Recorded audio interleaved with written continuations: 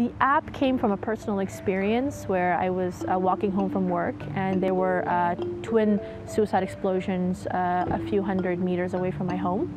The experience the next day when I woke up, I was just wondering to myself how there was no platform where verified uh, real-time information could be provided for Kabul residents. So essentially it's to democratize access to information for Afghans.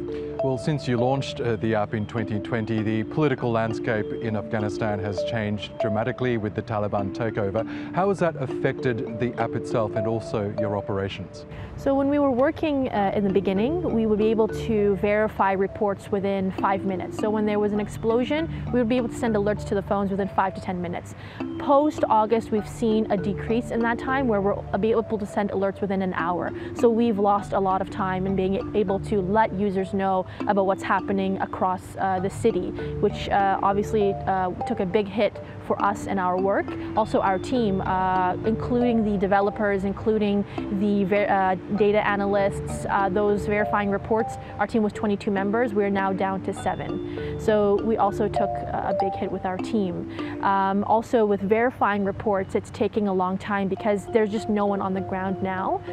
Has there been any reaction or response to your app uh, from the Taliban rulers? We have had a few incidences with our team where they have seen their ID cards, uh, they've come by our office and have asked us what it is because Ehtesaab obviously comes from a word where it involves accountability and transparency.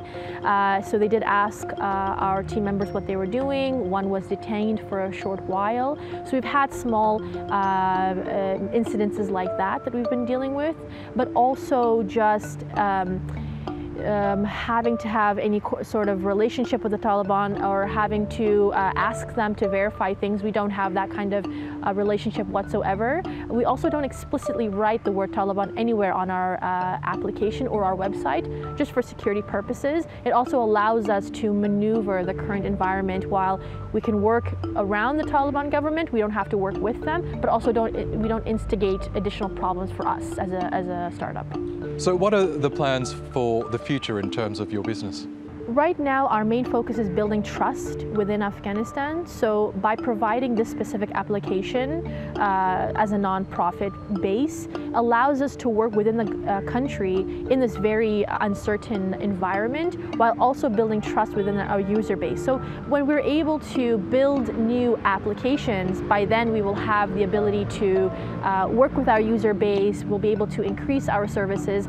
So the first few things that I'm thinking about um, is is being able to provide a proper municipality a city service application where we would be uh, approaching municipalities across the country and suggesting this platform to them to be able to connect to the citizenry uh, and the, their constituents better and to have the data and to have the platform to be able to track uh, changes and updates within cities for uh, users to be able to contact city officials and have uh, a, a camaraderie and be able to communicate with each other.